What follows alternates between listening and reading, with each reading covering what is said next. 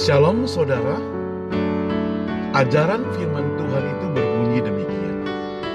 Kasihilah Tuhan Allahmu dengan segenap jiwamu, dengan segenap hatimu, dengan segenap kekuatanmu, dan dengan segenap akal budimu. Kasihilah sesama manusia seperti dirimu sendiri. Jadi, saudara, dari kalimat ini kita bisa berpendapat bahwa orang yang mengasihi sesama manusia belum tentu mengasihi Tuhan, tetapi orang yang mengasihi Tuhan sudah pasti dia mengasihi sesama manusia.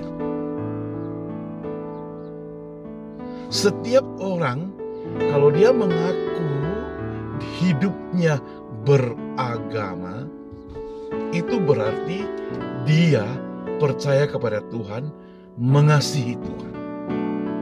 Dengan kata lain, kalau dia mengasihi Tuhan, itu juga berarti dia mengasihi ciptaan Tuhan.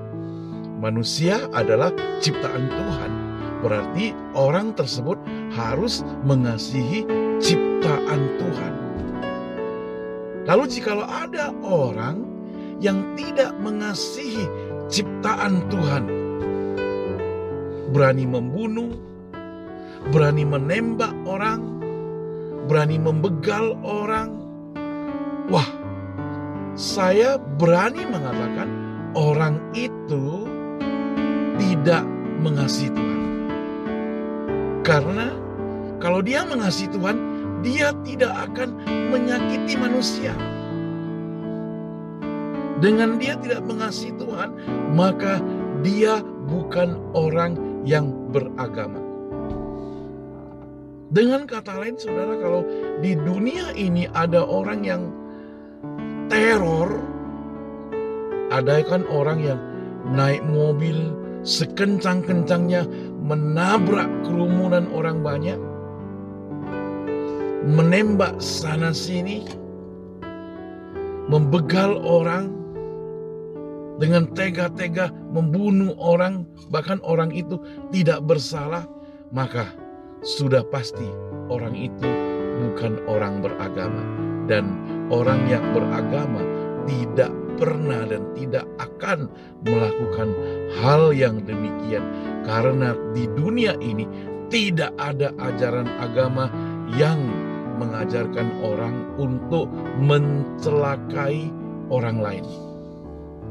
Bahkan agama mengajarkan mengampuni orang lain. Kalau orang lain berbuat jahat padamu, berbuat baik kepada dia kembali. Kalau ada orang yang menampar pipi kananmu, kasih juga tamparan pipi kirimu. Kalau ada orang yang menyakiti engkau, engkau harus mengasihi orang tersebut. Kalau ada orang yang melukai engkau, engkau harus mengampuni orang tersebut. Itu ajaran firman Tuhan. Nah, saudara, sekarang tinggal kembali kepada Anda-Anda semuanya yang mengklik video ini. Apakah engkau hanya mengaku sebagai orang beragama saja? Kalau engkau mengaku sebagai orang beragama saja, bisa dimaklumi kalau Anda tidak mencintai Tuhan. Tapi engkau diminta bukan hanya mengakui sebagai orang beragama saja, tapi engkau juga harus mencintai Tuhan. Dengan demikian, maka engkau dapat mengasihi sesama manusia. Terima kasih. Terima kasih.